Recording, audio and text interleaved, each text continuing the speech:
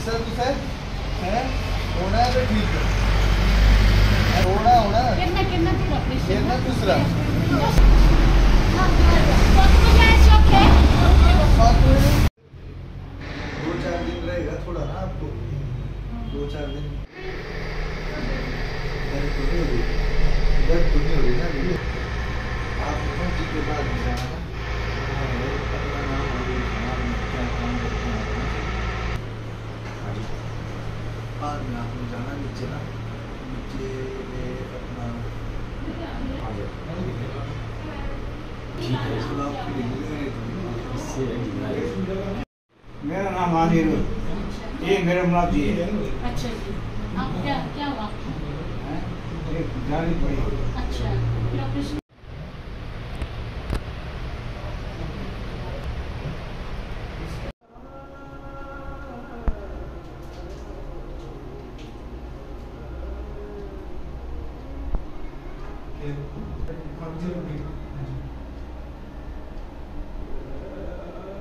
हाँ बढ़िया हो गया ऑपरेशन हाँ?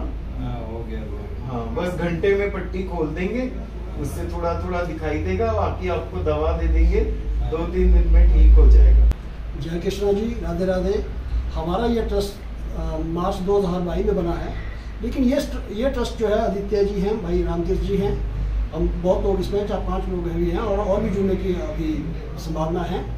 हमने पहले कोविड के टाइम में भी वैसे ही, पहले से ही काम करते रहे हैं। कोविड के टाइम में काफ़ी लोगों को मास्क बांटे हैं, सैनिटाइजर बांटे हैं, जो भी उसकी ज़रूरत की चीज़ें थी, सभी बांटी गई हैं। और अभी भी आगे हमने ये बीड़ा उठाया है, जैसे आज एक बुज़ुर्ग से हमारे बुज़ुर्ग, दो पीजी से हैं, इनके लिए हम अपने निःशुल्क व्यवस्था जो भी ये ऑपरेशन की की गई हैं, इनके मोतियाबिंद के ऑपरेशन हुए हैं।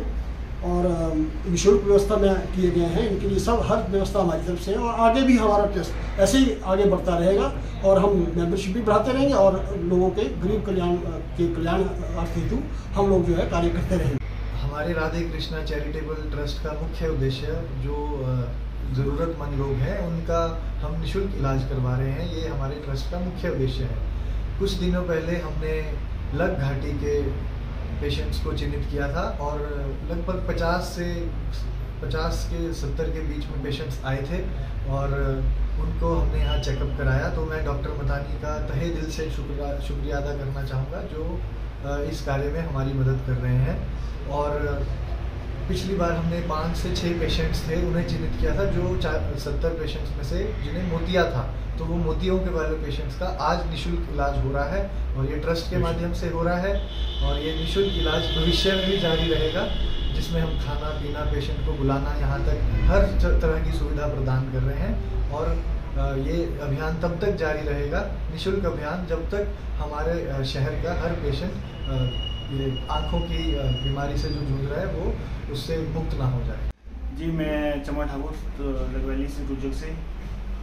तो मैं सबसे पहले थैंक यू करना चाहूँगा राधा कृष्ण चैरिटेबल ट्रस्ट का, जिन्होंने पहले यहाँ पे फ्री आई चेकिंग कैंप लगाया था। उसके बाद जिनका जो ऑपरेशन के उस हकदार में थे तो उनका राधा कृष्ण चैरिटेबल ट्रस्ट ने फ्री ऑफ़ कॉस्ट में ऑपरेशन भी किया। मैं थैंक यू करना चाहूँगा दोबारा से राधा कृष्ण चैरिटेबल ट्रस्ट और मैं राधा कृष्ण चैरिटेबल ट्रस्ट से एक अपना, मैं अपनी ओर से एक सुझाव भी दूँगा और मैं सपोर्ट भी करना चाहूँगा कि in future Radha Krishna charitable trust को मेरी ओर से कोई सहयोग चाहिए तो मैं देने के लिए बिल्कुल तैयार हूँ।